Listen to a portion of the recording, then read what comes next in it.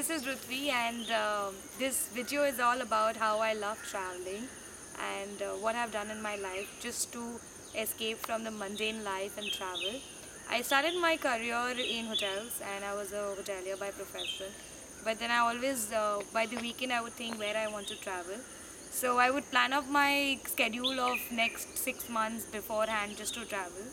I was traveling for a very young age, but I think the first uh, solo and uh, interesting uh, trip that I did was in Europe when I went back backpacking in 30, uh, 30 days for about in Italy, Switzerland, and Venice.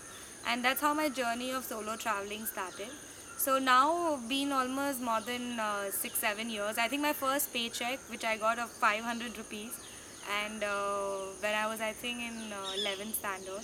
The first thing I did with that paycheck was I took my parents to Alibag and uh, I paid the ferry uh, money also. So I think uh, from very young age I have always loved to travel, explore new places, meet new people, meet new cultures. Uh, the most memorable trip of mine would be um, we all talk about international countries and we say we like Geneva, we like Austria and all. But I think the most interesting uh, place for me was Lakshadweep because I think it is the most beautiful place I've ever seen. Uh, not because it's in India and we should not appreciate it. I think uh, it that destination has great potential in terms of a lot of water activities and uh, it is completely very virgin. Um, I think uh, for me travel is uh, how I connect with people, learn new things, uh, become uh, extrovert from what I was an introvert. And the fourth most important thing for me in travel is discovering myself. Uh, I do not, I would not say that yes I've done X number of countries. I design more of memories. Uh, I count the memories than counting the places and destinations. So uh, for me, travel is a place where I can uh, explore my identity. I'm a travel blogger. I am a backpacker. I'm a nomad wanderer. I quit my corporate life for traveling, for experiencing different culture, to meet different people, uh, discovering myself, discovering new places. I do a lot of social media for my bread and butter, as everybody says. Uh, but I do travel a lot. Out of I think 365 days, I would be traveling out of Bombay about 200 days. Uh, while I speak, um, I'm also bike rider.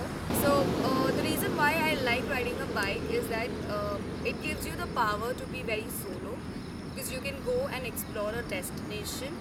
Uh, second, uh, I like the mind frame of a biker towards a traveler also because the enthusiasm that they have to go and search a new destination, ride across with their friends or ride alone, uh, it really gives you a new pleasure to discover a new place as well. So I think uh, I wouldn't call myself a total uh, nomad as well because I like to also be a part of luxury travel. So I've been different kinds of a traveler. I've also been a backpacker, I've also been a luxury traveler.